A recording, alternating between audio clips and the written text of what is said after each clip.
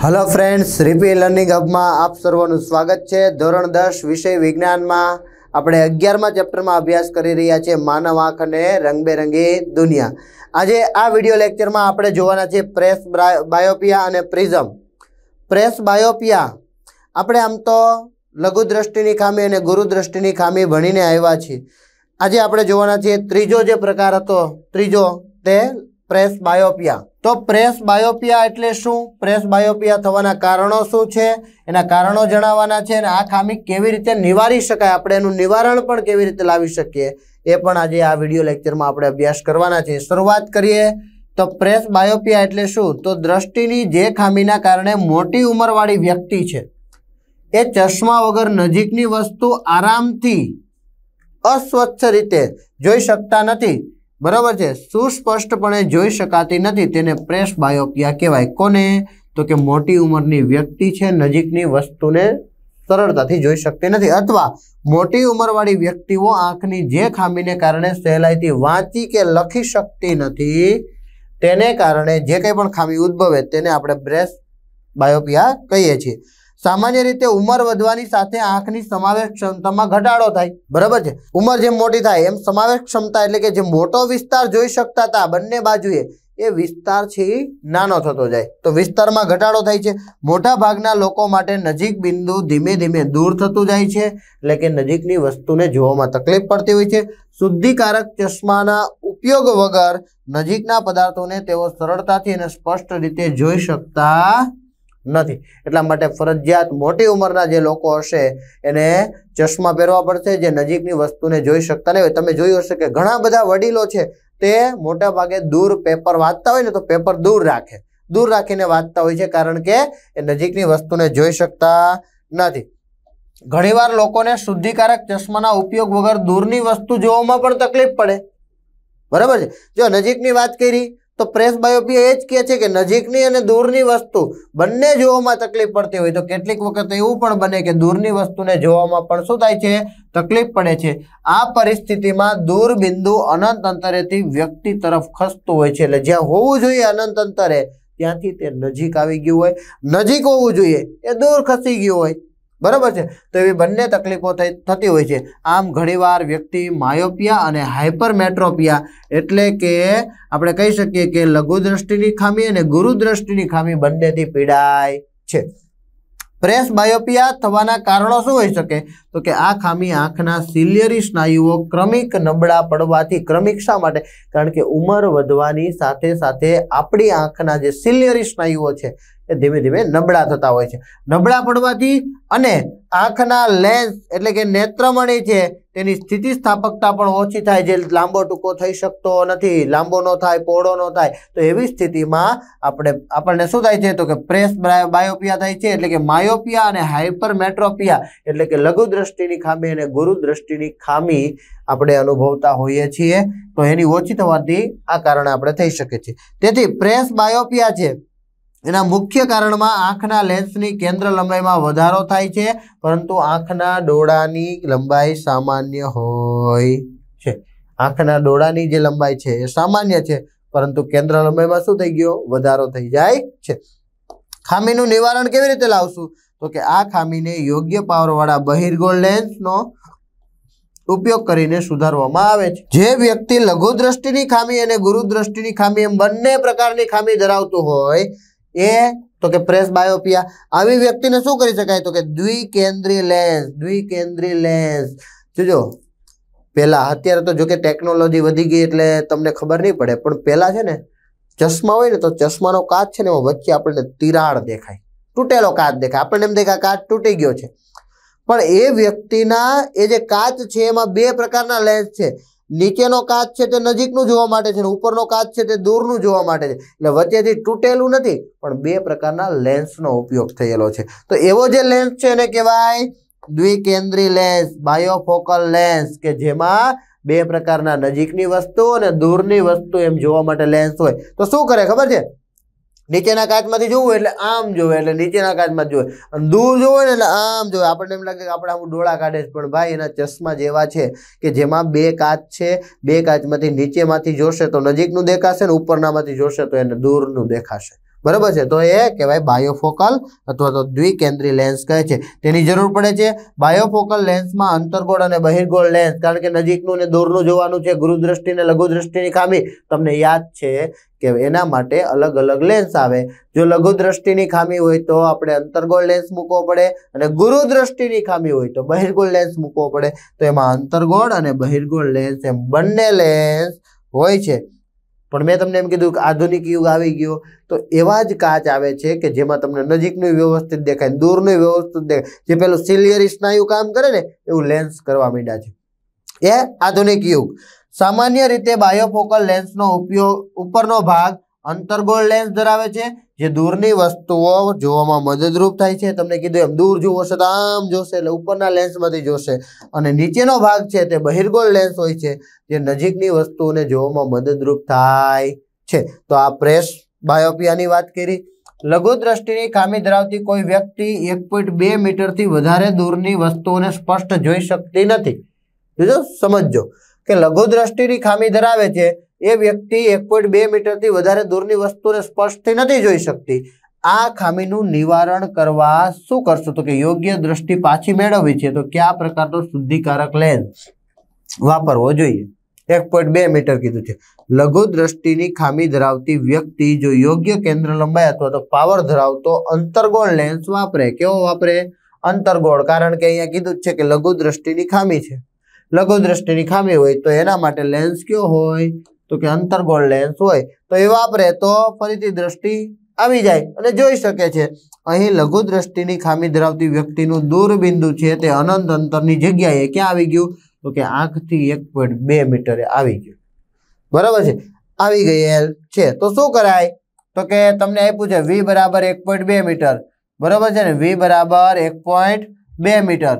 You બરાબર તો કે ઇન્ફિનિટી અનંત અંતરની વાત કીધી છે કે ભાઈ વસ્તુ અંતર છે, અનંત અંતરે છે, પ્રતિબિંબ અંતર છે, તે એક પોઈન્ટ બે મીટરે છે. તો એની કેન્દ્ર લંબાઈ શોધો. તો ક્યાં સૂત્ર પરથી મેળવી શકાય? તો લેન્સના સૂત્ર પરથી મેળવી શકાય. આપણે આવી રીતે પણ સૂત્ર લખી શકીએ. વન અપોન એફ બરાબર one upon V minus one upon U જો યુ ને પહેલા લખો તો એ માઇનસ લખવું પડે. બરાબર છે? એમાં કિંમત મૂકી છે. અને અહીંયા કીધું છે, એકને જો તમે ઇન્ફિનિટી વડે, અનંત વડે ભાંગો તો એનો જવાબ હંમેશા શૂન્ય મળતો હોય છે. તેથી એફ બરાબર એક પોઈન્ટ બે મીટર. પણ કેવું મળ્યું? માઇનસ એક પોઈન્ટ બે મીટર મળે છે. એટલે એ હંમેશા અંતર્ગોળ લેન્સ હોય. પાવર તો તમને ખબર છે કે પી બરાબર વન અપોન એફ બરાબર છે? કેન્દ્ર લંબાઈ કેટલી મળી? માઇનસ એક પોઈન્ટ બે. એની કિંમત મળી તો પોઈન્ટ ત્યાંસી ડાયોપ્ટર પાવર મળે છે. બરાબર છે? તો આ રીતે આપણે એ શોધી શકતા હોય છે. જે આપણે દસમા ચેપ્ટરના આવા દાખલાઓને જોઈ ગયા છે તમને આવડતા હશે. એક પોઈન્ટ બે મીટર કેન્દ્ર લંબાઈવાળા અંતર્ગોળ લેન્સ અંતર્ગોળ લેન્સ વાપરવાનો છે. એનો ઉપયોગ દ્વારા યોગ્ય દ્રષ્ટિ પુનઃ પ્રાપ્તિ કરી શકીએ છીએ અને ફરીથી આપણે જેવા હતા એવા થઈ શકીએ છીએ જોઈ શકીએ છીએ બધી વસ્તુઓને. સામાન્ય દ્રષ્ટિની વ્યક્તિ હોય એ વ્યક્તિ માટે દૂરબિંદુ અને નજીક બિંદુ કેટલું હોય છે? તો આપણે સામાન્ય દ્રષ્ટિ ધરાવતી વ્યક્તિ હોય તેના માટે દૂરબિંદુ છે, અનંત અંતર હોય અને નજીક બિંદુ છે તે પચીસ સેન્ટીમીટર હોય છે. છેલ્લી પાટલી પર બેઠેલા વિદ્યાર્થીને બ્લેકબોર્ડ પરનું લખાણ વાંચવામાં તકલીફ પડે છે, જો અંતર વધી ગયું. બરાબર છે? પડે છે. આ બાળક કઈ ખામીથી પીડાતું હશે તેનું નિવારણ કેવી રીતે લાવી શકાય? તો વિદ્યાર્થી દૂરની વસ્તુને સ્પષ્ટપણે જોઈ શકતો નથી. તો આ ખામીને કઈ કહેવાય? તો કે લઘુ દ્રષ્ટિની ખામી કહેવાય, કારણ કે નજીકનું જોઈ શકે પણ દૂરનું જોઈ શકતો નથી. તેનો અર્થ એ થાય છે કે તે માયોપિયા અથવા તો માયોપિયાને કહેવાય, લઘુ દ્રષ્ટિથી ખામીથી પીડાય છે. આ કિસ્સામાં નજીકની વસ્તુ વિદ્યાર્થી સ્પષ્ટ જોઈ શકે છે, પરંતુ દૂરની વસ્તુ છે, બ્લેકબોર્ડ છે, છેલ્લી પાટલીએ બેઠેલો છે, એટલે કે છેલ્લી બેન્ચીસે બેઠેલો, એ વિદ્યાર્થી જોઈ શકતો નથી. તો વસ્તુનું પ્રતિબિંબ નેત્ર પટલની આગળ રચાતું હોવાથી તે સ્પષ્ટ જોઈ શકતો નથી. એના માટે આપણે શું કરવું પડે? તો કે યોગ્ય કેન્દ્ર લંબાઈ વાળો અંતર્ગોળ લેન્સ મૂકવો પડે. આ ખામીને નિવારવા યોગ્ય કેન્દ્ર લંબાઈ ધરાવતો અંતર્ગોળ લેન્સ મૂકવામાં આવે. એટલે કે વિદ્યાર્થી એવા ચશ્મા પહેરવે તો એ વિદ્યાર્થીને બ્લેકબોર્ડ પર જે જે કંઈ પણ લખાણ હશે એ વાંચી શકાશે. ઓકે ત્યાર પછી પ્રિઝમ વડે પ્રકાશનું વક્રીભવન આપણે વક્રીભવનની ઘટના જોઈ ગયા, પણ લંઘન વડે થતું જે વક્રીભવન હતું એ જોયું હતું. ચેપ્ટર નંબર દસ, યાદ કરો. બરાબર એના જેવો જ અહીંયા છે પ્રિઝમ વડે પ્રકાશનું વક્રીભવન તો પ્રિઝમ શું છે? તો પેલા પ્રિઝમ વિશે માહિતી મેળવી લઈએ તો પ્રિઝમ એક પારદર્શક વક્રીભૂત માધ્યમ છે, જેમાં પ્રકાશનું કિરણ પસાર થાય તો વક્રીભવન પામે છે. જે ઓછામાં ઓછી બે પાર્શ્વીય. પાર્શ્વીય એટલે બે ભાગ, બે શબ્દ આવે. પશ્વ અને પાર્શ્વ. પશ્વ એટલે શું થાય? તો કે પાછળનું. અને પાર્શ્વ એટલે બાજુઓ થાય. શું થાય? બાજુઓ. તો બે પાર્શ્વીય સપાટી ધરાવે છે એટલે કે બે બાજુઓ ધરાવે છે, સીમિત હોય છે અને બંને સપાટીઓ ચોક્કસ ખૂણે એકબીજા પર ઢળેલી હોય. બે સપાટીઓ છે પાર્શ્વીય, બે બાજુ તે એકબીજા સાથે ચોક્કસ ખૂણે એકબીજા સાથે ઢળેલી હોય છે, એકબીજાને અડેલી હોય છે. કાચનો ત્રિકોણીય પ્રિઝમ એટલે શું? તો કે કાચનો ત્રિકોણીય પ્રિઝમ. એ કાચનો બનેલો છે. તેમજ બે ત્રિકોણાકાર પાયા છે. બે ત્રિકોણાકાર પાયા છે. અને ત્રણ લંબચોરસ પાર્શ્વીય બાજુઓ છે. એટલે ટોટલ કેટલી બાજુઓ થાય ખૂબ જ અગત્યનો પ્રશ્ન છે. તો ટોટલ પાંચ બાજુઓ થઈ. એમાંથી બે છે, તે ત્રિકોણાકાર છે. બરાબર? અને ત્રણ છે, તે લંબચોરસ છે. તમે પ્રિઝમ જોશો તો તમને ખ્યાલ આવશે. બરોબર છે? આમ આપણને દેખાય એક જ બાજુ, પણ એની પાછળની બાજુઓ પણ હોય છે, જેથી આપણે એને જોઈ શકતા નથી. તો બે ચોપડી હોય, સિમ્પલ પ્રિઝમને જોવું હોય તો બે ચોપડીને બેન્ચીસ ઉપર આ રીતે મૂકી દેવાની. આ રીતે મૂકી દેશો અથવા તો જમીન પર મૂકી દેશો. તો તમને એક બાજુ, બે બાજુ અને ત્રણ બાજુ જે લંબચોરસ દેખાશે. દેખાશે ને? તો ત્રણ લંબચોરસ બાજુ. બે ત્રિકોણ કયો હતો કે એક આ ત્રિકોણ બન્યો ને એક તમારી બાજુનો ત્રિકોણ બન્યો? એક મારી બાજુનો ને એક તમારી બાજુનો. બે ત્રિકોણ અને ત્રણ લંબચોરસ બાજુઓ. તો બે ત્રિકોણાકાર અને ત્રણ લંબચોરસ પાર્શ્વીય બાજુઓ ધરાવે છે. એ પારદર્શક પદાર્થ એટલે પ્રિઝમ. કાચના ત્રિકોણીય પ્રિઝમની સામસામેની સપાટીઓ એકબીજાને સમાંતર હોતી નથી, કારણ કે એ ક્યાંક ને ક્યાંક છેદે છે એટલે સમાંતર ન હોય. કાચના પ્રિઝમને કેટલી બાજુઓ હોય છે? તો પાંચ બાજુઓ હોય છે. ત્રણ લંબચોરસ છે, બે ત્રિકોણાકાર છે. જે જોઈ ગયા, જો ખ્યાલ ના આવે તો બે ચોપડીને આ રીતે મૂકી જુઓ. એટલે તમને આ પાંચ બાજુઓનો ખ્યાલ આવી જશે. પ્રિઝમ કોણ શું છે? તો કે સમબાજુ ત્રિકોણીય પ્રિઝમમાં તેનું મૂલ્ય કેટલું હોય છે? તો પ્રિઝમમાં બે પાસ પાસેની પાર્શ્વીય બાજુઓ વચ્ચેના ખૂણાને પ્રિઝમ કોણ કહેવાય? પ્રિઝમમાં બે પાસ પાસેની પાર્શ્વીય બાજુઓ છે. એની વચ્ચેનો જે ખૂણો છે એને શું કહેવાય? પ્રિઝમ કોણ કહેવાય. સમબાજુ ત્રિકોણીય પ્રિઝમમાં પ્રિઝમ કોણનું મૂલ્ય સાઠ ડિગ્રી હોય છે. પદ્ધતિ, આપણે જોઈએ. હમણાં આકૃતિ આવશે એટલે તમને વધારે ખ્યાલ આવશે. એક ડ્રોઈંગ બોર્ડ લેવાનું છે. ફરીથી પ્રવૃત્તિની જેમ કામ કરવાનું. એક ડ્રોઈંગ બોર્ડ મૂકો ડ્રોઈંગ બોર્ડ ઉપર એક પ્રિઝમ મૂકો. સફેદ કાગળને ડ્રોઈંગ પિનની મદદથી લગાવો. તેના પર એક કાચનો પ્રિઝમ એવી રીતે ગોઠવો કે જેની ત્રિકોણાકાર સપાટીનો શું થાય? પાયો બને પેન્સિલ વડે તેની કિનારીઓને અંકિત કરો એટલે દોરી દેવાનું પ્રિઝમને. પ્રિઝમની કોઈ એક વક્રી ભવનકારક સપાટી એ બી સાથે કોઈ ખૂણો બનાવે તેવી રેખા પી દોરો. આપણે પેલા આકૃતિ જોઈ લઈએ, જો. શું કહે છે? તો કે એક પેલા ડ્રોઈંગ બોર્ડ મૂક્યું, એક પેપર મૂક્યું, એના પર આ પ્રિઝમ મૂક્યો. પેન્સિલથી આપણે દોરી દીધું, આપણે એની સપાટી એ બી દોરી દીધી એસી દોરી દીધી બીસી દોરી દીધી, એવી રીતે આ સપાટીઓ દોરી દો બરાબર છે? આટલું થયું. પછી આપણે જોઈએ. ખૂણો બને, બનાવે તેવી રીતે પી દોરો. હવે શું દોર્યું? પી ઈ દોર્યું. શું દોર્યું? પી એટલે કે અહીંયા ખૂણો બને, એવો એક પી દોર દીધો. દોરાઈ ગયો પી ઓકે ફરીથી આપણે જોઈએ પાછું. દર્શાવ્યા પ્રમાણે આ રેખા પી પર બે ટાંકણીઓ પી અને ક્યુ દોરો. ઓકે તો શું બે ટાંચણીઓ ખોડી દીધી? પી અને ક્યુ ટાંચણીઓ ખોડી દીધી? ફરીથી જોઈએ. પ્રિઝમની બીજી બાજુ એસી તરફથી પી અને ક્યુ ટાંકણીઓનું પ્રતિબિંબ જુઓ. એટલે એવું કે છે કે આ બાજુથી પ્રિઝમ મૂકેલો છે, આ બાજુ એ જતો રહેવાનું. આ બાજુથી આમ જોવાનું કે આ બે ટાંચણીઓ ક્યાં દેખાય છે? તો કે એનું પ્રિઝ જ્યાં પ્રતિબિંબ રચાય, ત્યાં ફરીથી બે ટાંચણીઓ ખોડી દો. બરાબર? એને નામ આપી દેવાનું આર અને એસ આપી દેવાનું. ઓકે. આર અને એસ બિંદુઓ પર બે ટાંચણીઓ એવી રીતે લગાવો કે જેથી ટાંકણીઓ આર અને એસ તથા પી અને ક્યુ ના શું હોય? તો કે પ્રતિબિંબ એક સીધી રેખામાં દેખાય એટલે ચારેય આમ સીધી રેખામાં દેખાવા જોઈએ. આપણે બીજી બાજુથી જોયું. ટાંકણીઓ અને કાચના પ્રિઝમને હટાવી દેવાનો. હવે ત્યાં કાણા હશે. હશે ને? ઓકે. રેખા પી પ્રિઝમની ધારને ઈ બિંદુએ મળે છે. ઓકે. પી ક્યાં મળે છે? તો કે ઈ બિંદુએ મળે છે. હા, મળે છે. પી છે એ ક્યાં મળે? તો કે ઈ બિંદુએ મળે છે. આપણે ફરીથી જોઈએ. નેક્સ્ટ જોઈએ. જુઓ આકૃતિમાં. તો આપણે આકૃતિ જોઈ લીધી. આ જ પ્રકારે આર અને એસ બિંદુઓને એક રેખાથી જોડો. બરાબર છે? તો બીજું જોઈ લેવાનું. આર અને એસને પણ આપણે એક રેખાથી જોડી દીધી. જે ક્યાં મળે છે? તો કે એફ બિંદુએ મળે છે. ફરીથી જોઈએ. એફ એ બિંદુને જોડી દીધા. પી અને આર એસને એવી રીતે લંબાવો કે જી બિંદુ પાસે મળે. આકૃતિમાં દર્શાવ્યા મુજબ વિચલન કોણ ખૂણો ડી દર્શાવો. જો ફરીથી જોઈએ. આ વિચલન કોણ છે? જેને આપણે ડી વડે દર્શાવેલું છે. બરાબર છે? અને આપણે આને પણ જોડી દીધેલું છે.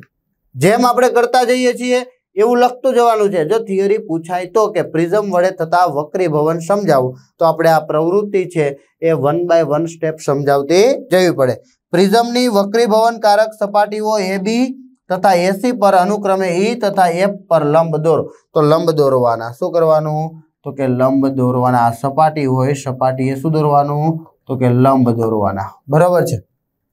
ત્યાર પછી નેક્સ્ટ જોઈએ. આકૃતિમાં દર્શાવ્યા પ્રમાણે આપાત કોણ? તો કે ખૂણો આય હમણાં આપણે જોઈએ વક્રીભૂત કોણ અથવા તો વક્રીભવન કોણ આર તથા નિર્ગમન કોણ ખૂણો ઈ નામ નિર્દેશિત કરો. ઓકે. જો આ આપાત કોણ છે? આ વક્રીભૂત કોણ છે? અને આ છે તે ઈ છે તે નિર્ગમન કોણ. પહેલું કિરણ આપાત કિરણ, બીજું વક્રીભૂત કિરણ અથવા તો વક્રીભવન કિરણ અને ત્રીજું છે તે નિર્ગમન કિરણ છે. તમે અહીંયા જોઈ શકો છો પી શું છે તો કે આપાત કિરણ છે? હા, છે. ઈ એફ છે એ વક્રીભૂત કિરણ છે તો કે ઈ એફ છે એ વક્રીભૂત કિરણ છે. ત્યાર પછી એફએસ છે તે નિર્ગમન કિરણ તો કે બહાર નીકળતું કિરણ ત્રીજું, જેને એફએસ કહી શકીએ. જે કેવું છે? નિર્ગમન કિરણ છે. પેલું આપાત કિરણ, બીજું જે વક્રીભવન પામે છે વળાંક વળે છે તે વક્રીભવન અને ત્રીજી સપાટીમાં માધ્યમ એક, માધ્યમ બે ને માધ્યમ ત્રણ આવું આપણે લંબઘનમાં જોયું જ હતું. તો એ જે છે, એ ત્રીજું છે, એને કહેવાય નિર્ગમન કિરણ. ખૂણો એ છે જે પ્રિઝમ કોણ છે? આ જે છે એને શું કહેવાય? પ્રિઝમ કોણ? શું કહેવાય? પ્રિઝમ કોણ? બરાબર છે? તો ખૂણો એ પ્રિઝમ કોણ છે? આઈ છે, એ આપાત કોણ છે? આર છે તે વક્રીભૂત કોણ છે? આર છે. ઈ છે તે નિર્ગમન કોણ છે? અને ડી છે તે વિચલન કોણ છે? કે જે આ આપાત કિરણ અને આ જે નિર્ગમન કિરણ છે જ્યાં ભેગા થાય અને એ સમયે બનતો ખૂણો છે, એ ખૂણાને કહેવાય વિચલન કોણ. તો આ હતું પ્રિઝમ વિશેની માહિતી. પ્રિઝમની દરેક વક્રીભૂત સપાટી પર આપાત કોણ અને વક્રીભૂત કોણને સરખાવો. આપણે બધી જગ્યાએ આપાત કોણને વક્રીભૂત કોણને સરખાવતો જવાનો છે. અહીં પ્રિઝમમાં પી ઈએફ અને એફએસ કિરણોની વાંકા વળવાની ક્રિયા અને કાચના સ્લેબમાં વાંકા વળવાની ક્રિયા એક સરખા પ્રકારની છે.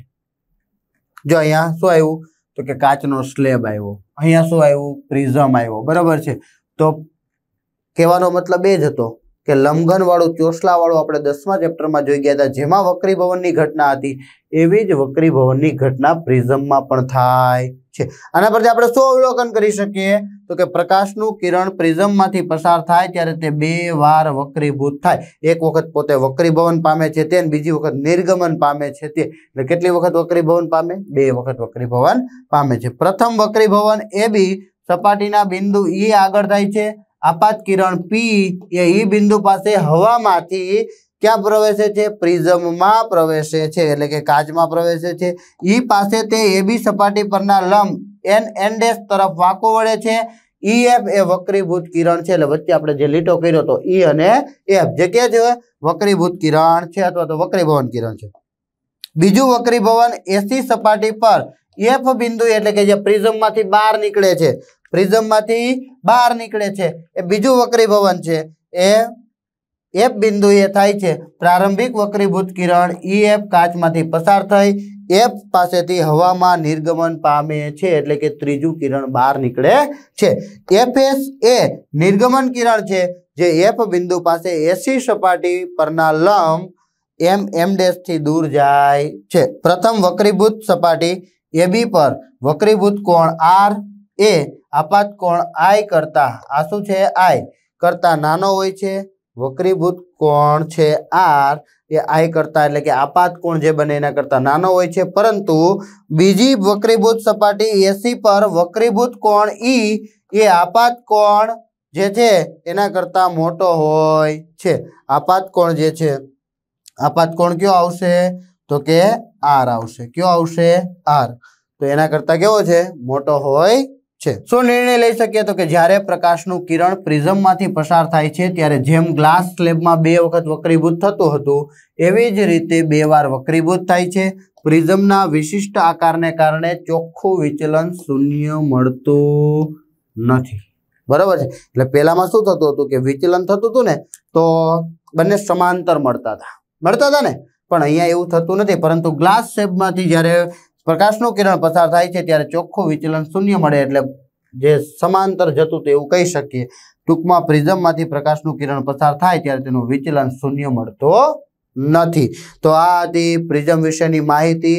હવે આપણે ખૂબ જ ઇન્ટરેસ્ટિંગ ટોપિકો વક્રીભવનને આધારે સાત રંગો છે. એ પ્રકાશનું સફેદ કિરણ છે. સાત રંગોમાં વિભાજિત થાય એના વિશે અભ્યાસ કરવાના છે. એ નેક્સ્ટ લેક્ચરમાં જોઈશું. Thank you